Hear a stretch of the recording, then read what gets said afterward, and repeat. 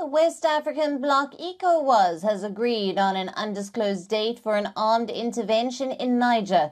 This follows multiple warnings by the bloc to Niger's junta to reinstate the ousted President Mohamed Bazoum.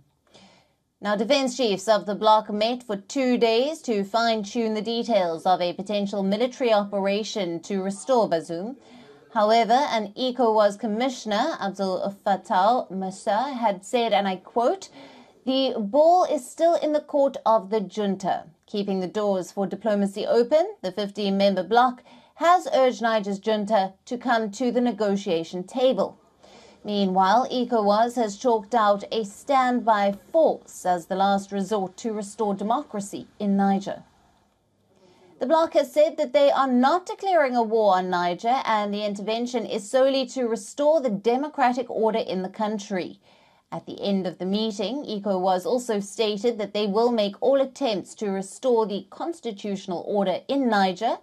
At the sidelines of the meeting in Niger's Niamey, people are protesting against ECOWAS and foreign intervention.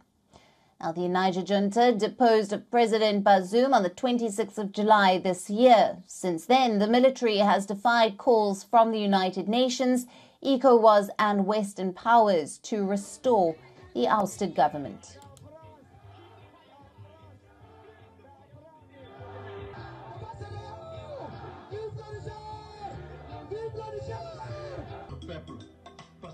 We are now available in your country.